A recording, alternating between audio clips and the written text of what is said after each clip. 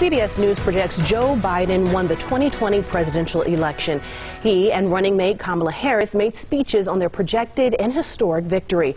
But legal challenges are expected from the Trump campaign. Laura Podesta has the story.